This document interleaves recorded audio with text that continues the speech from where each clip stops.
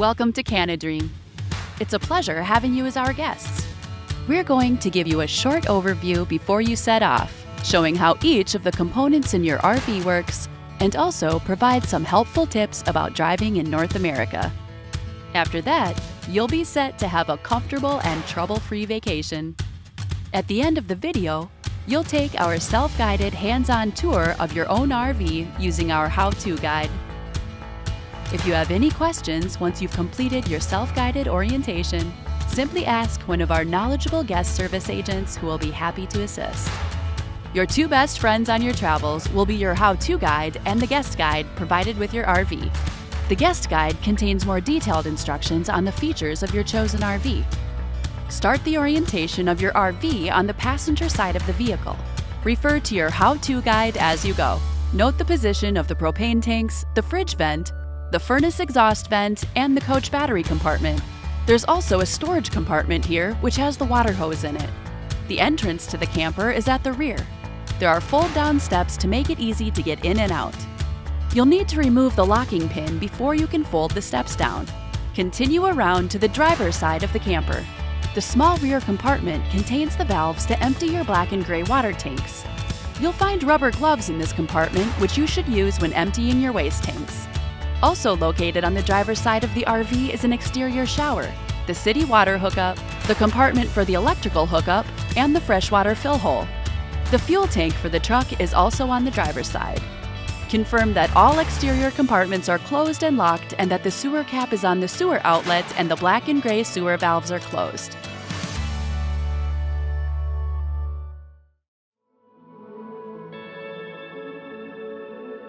The camper is equipped with two propane gas bottles, which supply fuel for the furnace, water heater, stove, and fridge. The bottles are full at pickup and do not need to be refilled prior to your return. If you need to refill your tanks during your vacation, do not fill to more than 80% capacity, as room must be left in the tanks for expansion. We recommend you have only one tank open at a time. Use the switch on the tanks to open the second tank when the first tank is empty and find a propane service to refill or exchange your empty tank. The propane gas system is designed to allow travel with the RV propane gas tank valve open. The gas shutoff valve on the selected bottle must be open for gas appliances in your RV to operate. Before boarding any ferry, however, it is important that the propane gas tank valve is closed. Your RV is fitted with a propane gas detector, which is designed to detect and alert you of possible dangerous gases in the RV. This detector is powered by the coach battery.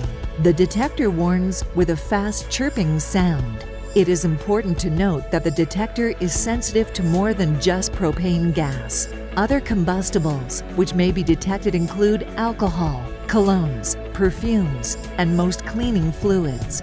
The position of the detector varies according to the make and model of the camper. It is usually located close to the floor. If the propane alarm sounds or you smell gas in the RV, open all doors and step away from the RV. If the alarm continues to sound, please call the number on your Canadream key tag.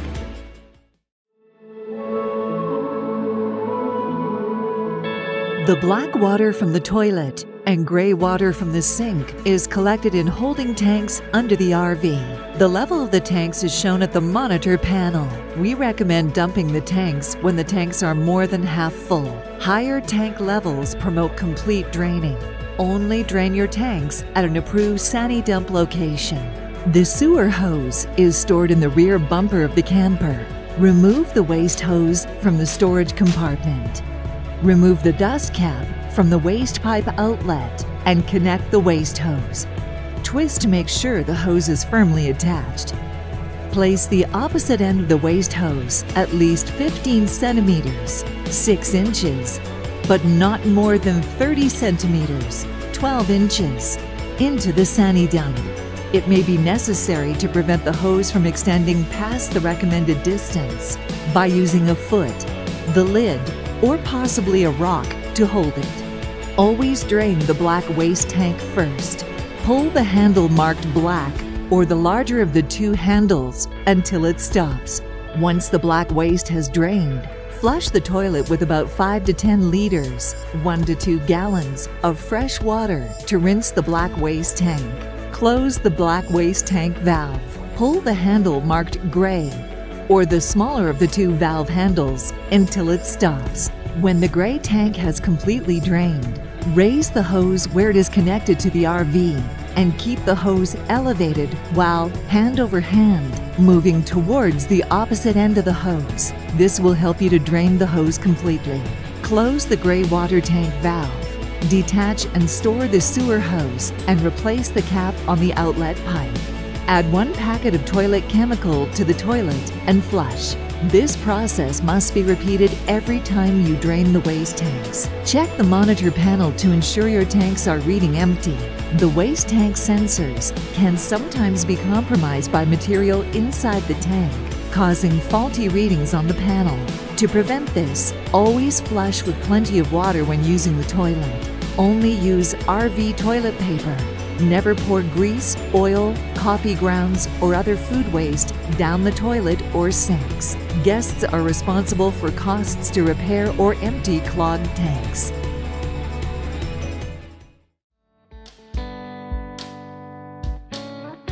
Your RV is supplied with a freshwater hose for filling the freshwater tank. The freshwater intake and city water connections can be found on the outside of your RV. To fill the freshwater tank, connect the water hose to a campsite water source. Insert the other end of the hose into the freshwater fill opening. Open the campsite water valve part way and fill the water tank slowly. Once the tank is full, water will start flowing back out of the filler hole. To access the water in the freshwater tank, use the water pump. The water pump switch is on the monitor panel. The water in the fresh water tank is safe for cooking and cleaning. We recommend you use bottled water for drinking. If you have water available at your campsite, you may be able to hook up to the city water supply and avoid using the water in your tank. There is an outside connection for the city water hookup on the side of the RV. A freshwater hose is supplied with the RV, which has connectors on both ends. Attach one end to the city water tap and the other to the city water connector on the side of the RV. Turn the campsite water supply on and check for leaks.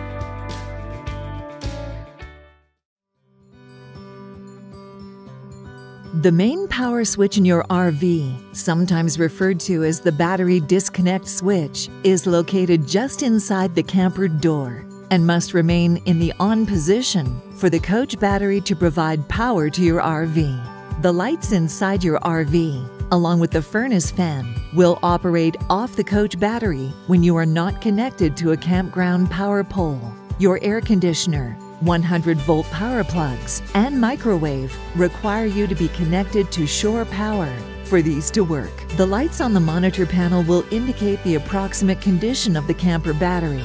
To check the condition of the coach battery, you must first disconnect from the campsite power pole and ensure your vehicle engine is off.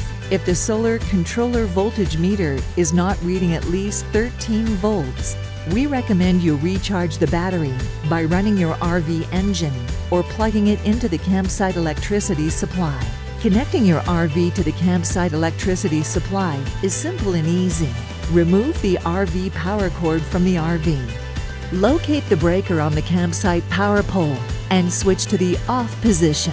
Plug the power cord into the campsite power pole, then switch the campsite power pole breaker to the on position. The power cord has a plug for a 30 amp service. If a 30 amp service is not available, use the 15 amp adapter. The 15 amp service will limit the simultaneous use of appliances. Contact campsite staff if there is no breaker located on the campsite power pole and the voltage meter is not reading 13 plus volts. Sit in the driver's seat and adjust the side mirrors so you can see everything outside the vehicle. Become familiar with the controls. Look for the yellow sticker on the dashboard which tells you the height of your RV. Locate the tow haul button this engages the engine brake when you are driving down steep hills and avoids the overuse of your vehicle brakes. Your RV has an automatic transmission. Before you can put the vehicle into gear, you'll need to have your right foot on the brake. This foot will also operate the accelerator pedal, so your left foot can take a complete rest when driving the RV. Head inside the RV and look around.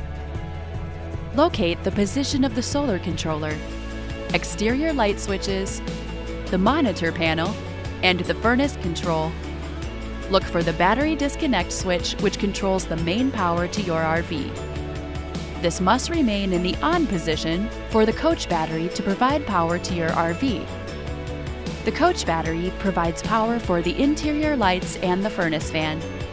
Other features such as the microwave, air conditioner, and 110 volt power plugs will only work when connected to shore power.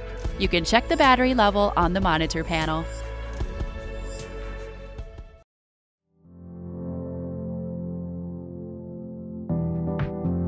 You are required to check your engine oil every time you fill up with fuel. The hood release lever is located on the left side lower interior trim piece near your brake pedal. If oil is needed, the correct oil type is shown on the oil cap. Please purchase the oil and keep your receipt. Canadream will reimburse you up to $100 at the time of your return with a receipt. The fuel tank is located on the driver's side. Please ensure that you only fill the vehicle with the correct fuel. In this vehicle, this will normally be diesel. Look for the diesel only sticker on the fuel cap and fuel door. Please remember to turn off your propane tank before refueling. You may need to restart your fridge when you turn the propane back on.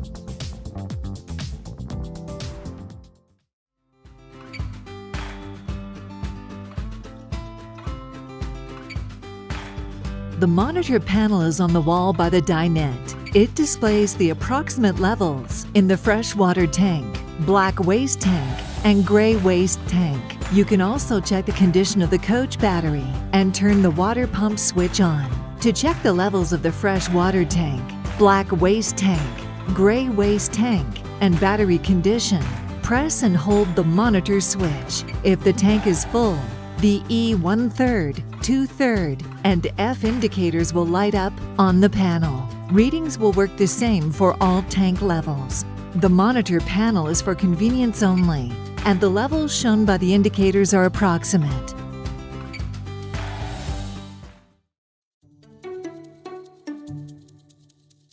The furnace operates using propane and utilizes a fan powered by your coach battery to circulate air throughout the RV. If you plan to run the furnace for an extended period of time, we recommend you be connected to a campsite power pole to avoid draining the coach battery. Turn the furnace on with the on-off switch on the thermostat. Use the lever on the bottom of the manual thermostat by sliding to the center or use the up and down arrows on the digital thermostat to set the temperature.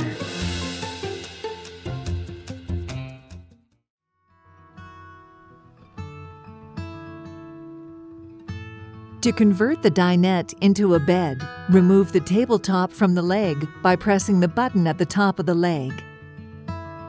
Remove the table leg by pressing the button at the bottom of the center pole. Position the tabletop between the wooden edges of the dinette seats. Arrange the cushions to form the bed.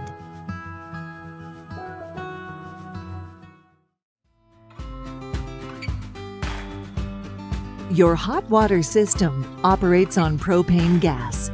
The switch is mounted below the counter near the kitchen sink. Press the water heater switch to on. The switch will light up. The light only stays on if the water heater cannot ignite. Wait for the light to go out. Once the light has gone off, the water heater has turned itself on and is now heating water. It takes about 15 to 20 minutes to heat a full hot water tank. If the water is already heated, the light will not illuminate.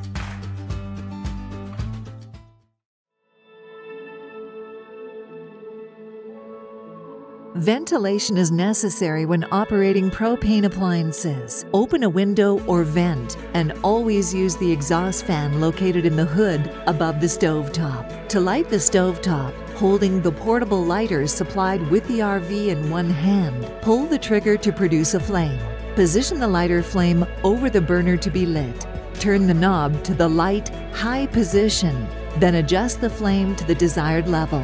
To light the oven, use the portable lighter flame to locate the pilot light at the very back center of the oven. While continuing to hold the flame at the pilot location, turn the oven control knob to pilot. Push and continue to hold.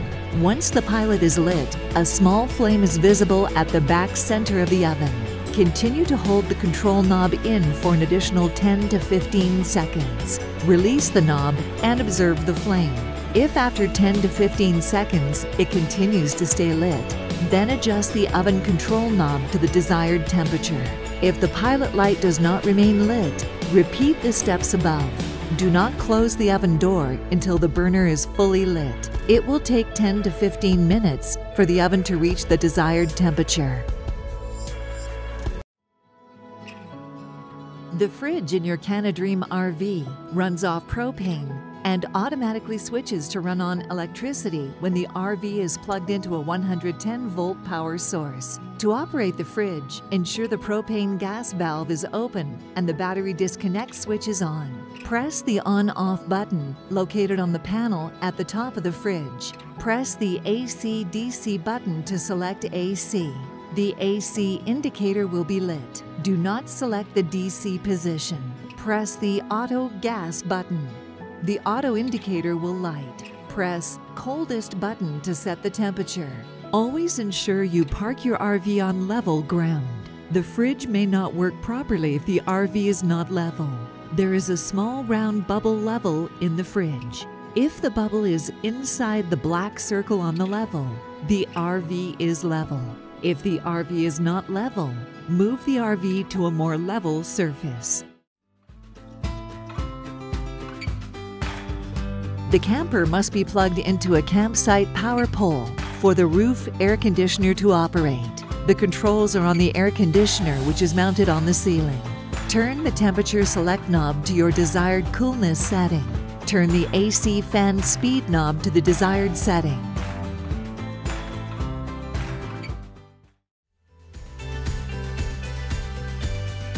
Whenever you are reversing, you should always have a person standing at the rear of the RV to guide you. We call this person a spotter. You should be able to see this person in your side mirror, and they should be able to see you. They will use hand signals to guide you as you reverse the RV. Many of the damage incidents guests have are caused whilst backing up, and these can be avoided if a spotter is used.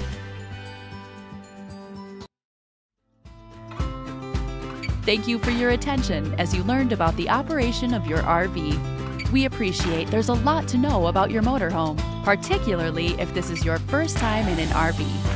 Information about everything we've covered in this video is available in the guest guide provided with your vehicle. While you are on the road, it's a great resource to refer to for answers to many of the questions you may still have. We wish you an enjoyable and safe vacation. Feel free to share your memories with us on Facebook or Instagram by tagging your photos hashtag MyCanADream.